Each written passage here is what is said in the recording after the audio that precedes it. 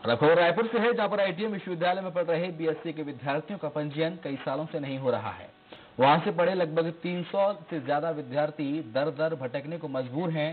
पंजीयन नहीं होने पर डिग्री या डिप्लोमा का कोई महत्व सरकारी नौकरी में नहीं होता है। ज़िम्मेदारी अधिकारियों के मुताबिक आईटीएम विश्वविद्यालय को मान्यता नहीं है। अगर मान्यता नहीं है तो विभाग कार्रवाई क्यों नहीं करती? विद्यार्थियों का हर साल भविष्य खराब हो रहा है तो वहीं पंजीयन नहीं होने के चलते परेशान छात्र छात्राओं ने स्वास्थ्य मंत्री को ज्ञापन सौंपकर पंजीयन कराने की मांग की है।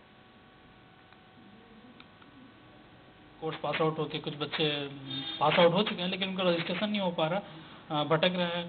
तो स्वास्थ्य मंत्री से विनम्र अपील है कि इन बच्चों के भविष्य को देखते हुए इनका रजिस्ट्रेशन पैरामेडिकल काउंसिल से पंजीयन होना चाहिए ताकि ये प्राइवेट संस्थान या सरकारी संस्थान में जॉब कर सके।